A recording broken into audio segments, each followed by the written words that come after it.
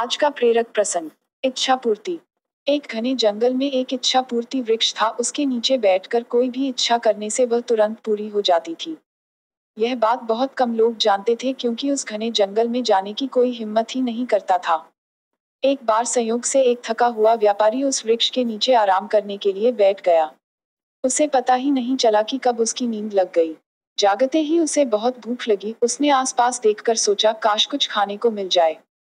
तत्काल स्वादिष्ट पकवानों से भरी थाली हवा में तैरती हुई उसके सामने आ गई। व्यापारी ने भरपेट खाना खाया और भूख शांत होने के बाद सोचने लगा, काश कुछ पीने को मिल जाए। तत्काल उसके सामने हवा में तैरते हुए अनेक शरबत आ गए। शरबत पीने के बाद वह आराम से बैठकर सोचने लगा, कहीं मैं सपना तो नहीं देख रहा हूँ।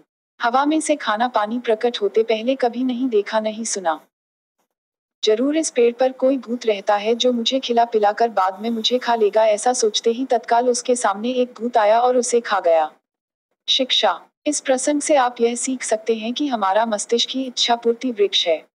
आप जिस चीज़ की प्रबल कामना करेंगे, वह आपको अवश्य मिलेगी। अधिकांश लोगों को जीवन में बुरी चीज़ें इसलिए मिलती हैं, क्योंकि वे बुरी चीज़ों की ही कामना करते हैं। इंसान ज़्यादातर समय सोचता है, कहीं बारिश में भीगने से मैं बीमार न हो जाऊँ और वह बीमार हो जाता है। इंसान सोचता है, मेरी किस्मत ही खराब है और उसकी किस्मत सचमुच खराब हो जाती है। इस तरह आप देखेंगे कि आपका अवचेतन मन इच्छा पूर्ति वृक्ष की तरह आपकी इच्छाओं को ईमानदारी से पूर्ण करता है। इसलिए आपको अपने मस्तिष्क में विचारों को सावधानी से प्रवेश करने की अनुमति देनी चाहिए। विचार जादूगर की तरह होते हैं, जिन्हें बदलकर आप अपना जीवन बदल सकते हैं। इसलिए सदा सकारात्मक सोचिए।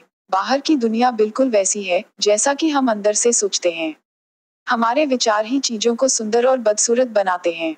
पूरा संसार हमारे अंदर समाया हुआ है, बस ज़रूरत है चीज़ों को सही रोशनी में रखकर देखने की।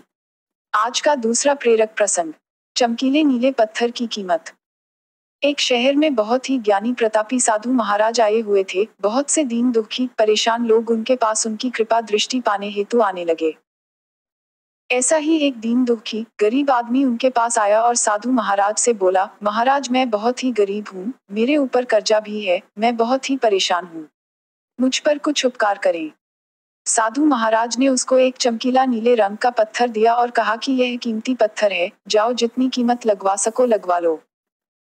वो आदमी वहाँ से चला गया और उसे बेचने के इरादे से अपने जान पहचान वाले एक फल विक्रेता के पास गया और उस पत्थर को दिखाकर उसकी कीमत जाननी चाहिए। फल विक्रेता बोला, मुझे लगता है ये नीला शीशा है। महात्मा ने तुम्हें ऐसे ही दे दिया है। हाँ यह सुंदर और चमकदार दिखता है। तुम मुझे दे दो, इसके मैं तुम्हें एक हज़ार रुपए दे दूँगा। वो आदमी निराश होकर अपने एक अन्य जान पहचान वाले के पास गया जो कि एक बर्तनों का व्यापारी था। उसने उस व्यापारी को भी वो पत्थर दिखाया और उसे बचने के लिए उसकी कीमत जाननी चाहिए। बर्तनों का व्यापारी बोला, यह पत्थर कोई विशेष रत्न है। मैं इसके तुम्हें दस हज़ार रुपये दे दूँगा। वह आदमी सोचने लगा कि इसके कीमत और भी अधिक होगी और यह सोच वो वहाँ से चला आया। उस आदमी ने इस पत्थर को अब एक सुनार को दिखाया। सुनार ने उस पत्थर को ध्यान से देखा और बोला, ये काफ़ी कीमती है, इसके मैं तुम्हें एक लाख रुपए दे दूँगा। वो आदमी अब समझ गया था कि यह बहुत अमूल्य है। उसने सोचा, क्यों न मैं इसे हीरे के व्यापारी को दिखाऊँ? यह सोच वो शहर के सबसे बड़े हीरे के व्यापारी के पास गया। उस हफ रे के व्यापारी ने जब वो पत्थर देखा तो देखता रह गया, चौंकने वाले भाव उसके चेहरे पर दिखने लगे। उसने उस पत्थर को माथे से लगाया और पूछा, तुम यह कहाँ से लाए हो? यह तो अमूल्य है। यदि मैं अपनी पूरी संपत्ति बेच दूँ तो भी इसकी कीमत नहीं चुका सकता। शिक्षा, हम अपने आप को कैसे आंकते हैं? क्या हम वो हैं जो राय दूसरे हमारे बारे में बनाते हैं? आपकी लाइफ अमूल्य है, आपके जीवन का कोई मोल नहीं लगा सकता।